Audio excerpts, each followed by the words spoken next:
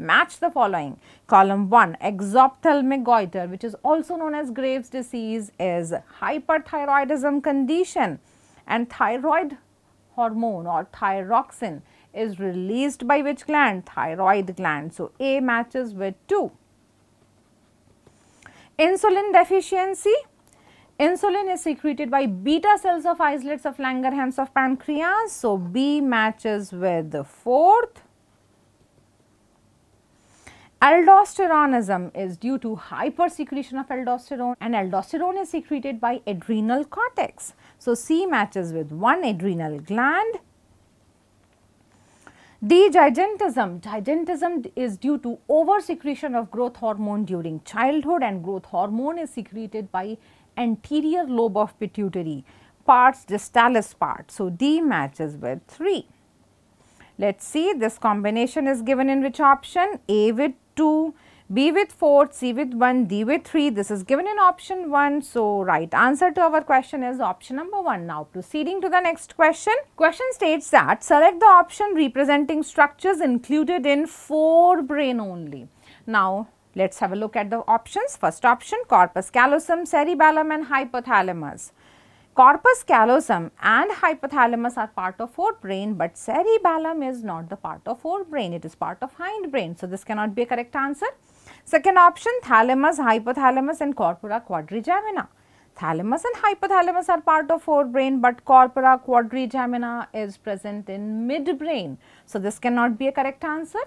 Third option cerebral aqueduct, cerebrum and association areas.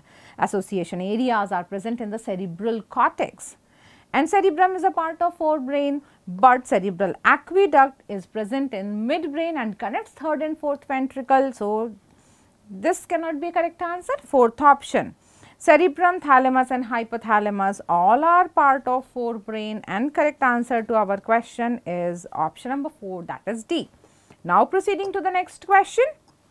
Question states that which hominid arose during ice age between 75,000 to 10,000 years ago and the options given are first option Homo erectus, second option Homo habilis, third option modern Homo sapiens and fourth option Neanderthal man.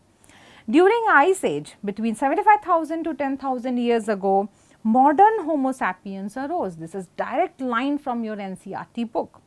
Homo erectus, Homo habilis and Neanderthal men are incorrect options. So, correct answer to our question is option number 3 that is C. Proceeding to the next question, question states that among the given sets of contraceptive methods, which set shares similar mode of action? And the options given are first option Saheli diaphragm. Saheli is non-steroidal pill and it provides contraception by preventing implantation. Diaphragm is a barrier method and it prevents entry of sperms into uterus. So, this cannot be a correct answer. Second option Multiload 375 and Progestasert. Multiload 375 is a copper releasing IUD while Progestasert is a hormone releasing IUD. Copper releasing IUD releases copper ions and copper ions suppresses sperm motility and fertilizing capacity. While Progestasert which is a hormone releasing IUD, it contains progesterone and it provides contraception by preventing implantation. So, this cannot be a correct answer. Third option Lippes loop and vasectomy. Lippes loop is a non-medicated IUD. Vasectomy is a surgical method of contraception. So, mechanism is not similar. This cannot be a correct answer.